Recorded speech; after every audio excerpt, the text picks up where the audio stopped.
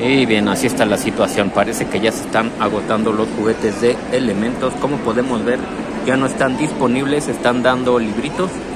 Y bueno, esta es la primera sucursal que veo que ya no hay juguetes de elementos, así que seguiré grabando más donde ya se esté agotando para ver más o menos cómo le fue esta promoción, pero parece que le fue bastante bien.